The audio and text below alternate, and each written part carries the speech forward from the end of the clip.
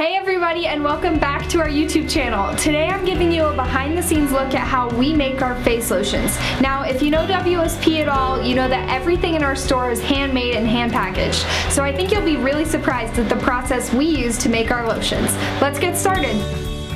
The first part of our process is the water portion.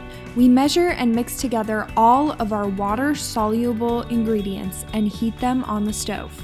The next phase is the oil phase. All of the butters and oils are combined and melted together on the stove.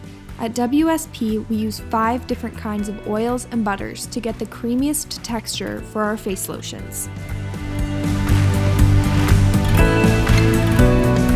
This next step is my favorite. Once the water phase and oil phase are at the appropriate temperatures, we combine them and it creates an awesome chemical reaction. We let this mixture cool a little more and then add the preservative we use to make sure your lotion will last a long time. We use a hand blender to make sure the mixture is blended thoroughly. For our tea tree lotion, we also add the fragrance. Then we let that mixture cool some more. After transferring the liquid over to a pitcher, we fill each lotion bottle before the mixture gets too thick. This is a lot less messy and allows us to use every drop of the product. The bottles are individually hand stirred in order to verify that each one has no air bubbles and that any scents are mixed 100% throughout the product. Then we put lids on them and hand sticker each bottle.